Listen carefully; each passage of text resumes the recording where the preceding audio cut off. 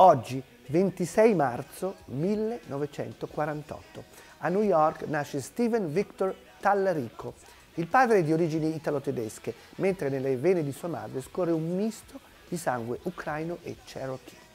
Da adolescente Steven frequenta la Roosevelt High School di Yonkers e si fa subito notare per tre cose.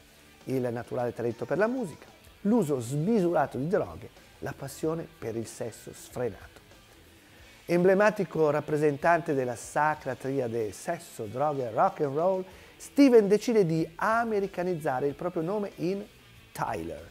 Va quindi a Boston dove fonda insieme all'amico chitarrista Joe Perry la band Aerosmith.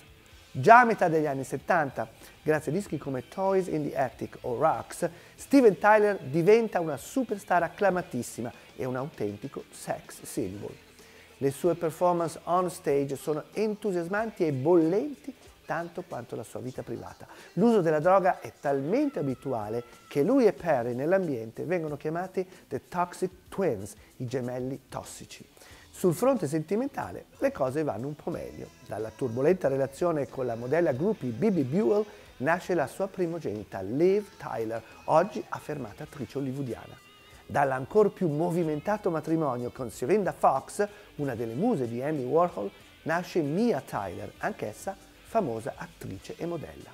Nel 1988 Steven Tyler si sposa con la stilista Teresa Barrick, dalla quale ha due figli, Chelsea e Taj Monroe Tallarico.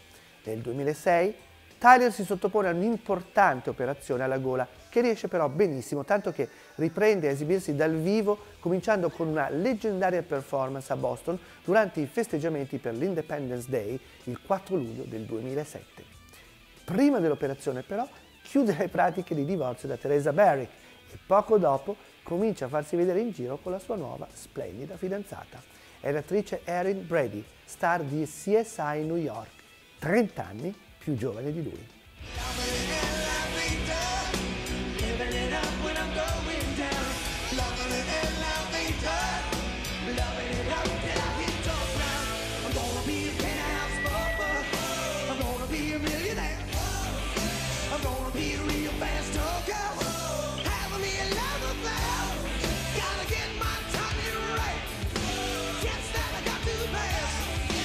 Change all the way to the stairway to honey. Kiss your